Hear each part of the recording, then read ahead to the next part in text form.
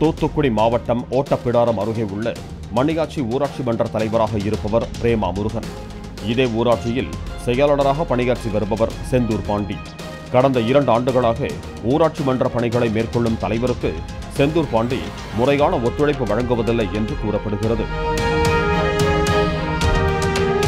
இதனால் ஊராட்சியில் பல்வேறு பணிகள் தேக்கம் ஏற்பட்டுள்ளதாகவும் முடிந்த பணிகளுக்கு கூட சரிவர பில்கள் போட்டு கொடுக்கவில்லை என்பதால் புதிய பணிகளுக்கு போதுமான நிதி பெற முடியாத சூழ்நிலை இருப்பதாகவும் துணைத் தலைவரை கையில் வைத்துக் கொண்டு ஊராட்சி செயலாளர் செந்தூர் பாண்டி பணிகளை சரிவர செய்யாமல் இருப்பதாகவும் குற்றம் சாட்டிய ஊராட்சி தலைவர் பிரேமா முருகன் தன்னை கடையில் போய் தீ வாங்கி வரச் சொல்லி அடிமையைப் போல நடத்தி அவமானப்படுத்தியதாகவும் இதனால் கடும் மன உளைச்சல் அடைந்து அதிகாரிகளிடம் புகாரளித்தும் எவ்வித நடவடிக்கையும் எடுக்கப்படவில்லை என்றும் குற்றம் சாட்டியுள்ளார்.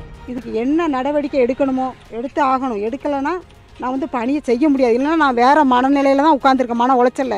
தற்கொலை கூட பண்ண வேண்டிய சூழ்நிலையில் நான் உரு உருவாகி என் மனசில் இருக்குது இதையடுத்து ஊராட்சி செயலாளர் தன்னை பணி செய்ய விடாமல் தடுத்து வருவதால் மனமுடைந்ததாக கூறி ஊராட்சி மன்ற தலைவர் பிரேமா முருகன் ஊராட்சி மன்ற அலுவலகத்தை பூட்டி அதற்கான சாவியை ஓட்டப்பிடாரம் வட்டார வளர்ச்சி அலுவலரிடம் ஒப்படைத்தார். அப்போது தனக்கு நேர்ந்த அவமானங்களை விவரித்து கண்ணீர் விட்டு கதறி எழுதார்.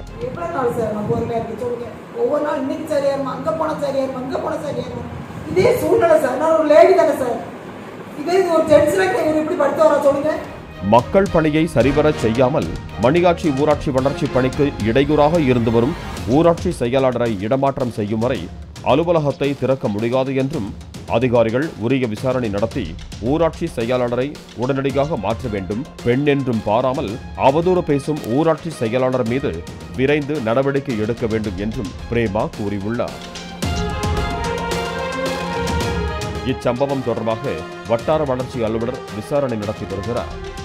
பாலிமர் செய்திகளுக்காக ஓட்டப்பிடாரம் செய்தியாளர் முனியசாமி